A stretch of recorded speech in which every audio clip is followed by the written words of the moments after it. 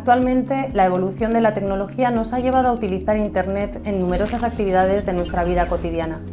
Internet se ha convertido en una herramienta de comunicación, trabajo y ocio tan importante en nuestra vida que nos facilita gestionar nuestros pequeños negocios, tramitar documentación con organismos oficiales o realizar compras sin movernos de casa.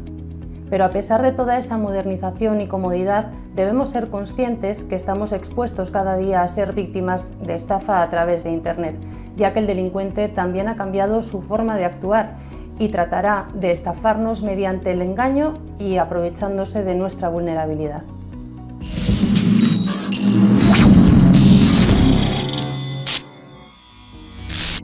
Como usuarios particulares de Internet debemos saber que cualquier actividad que realizamos desde nuestro móvil u ordenador conlleva el riesgo de ser estafados en las compras o ventas por Internet, robarnos nuestros datos personales o secuestrar la información que tengamos en nuestro ordenador.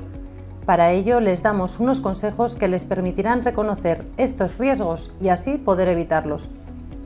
Debemos desconfiar de ofertas de productos en Internet cuyos precios sean excesivamente bajos podría tratarse de una estafa y una vez realizado el pago no lleguemos a obtener ese producto.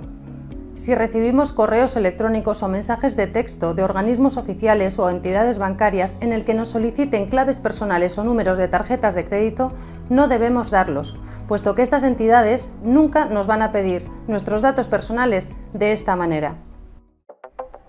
Protéjase contra los ciberataques. Use antivirus. Verifique la configuración de privacidad. Utilice páginas seguras. Evite correos maliciosos. Mantenga privada su información personal.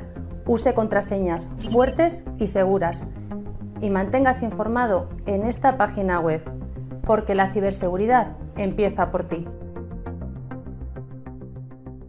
Si has sido víctima de una estafa o crees haberlo sido, contacta con nosotros a través del 062, donde te atenderemos en lo que necesites.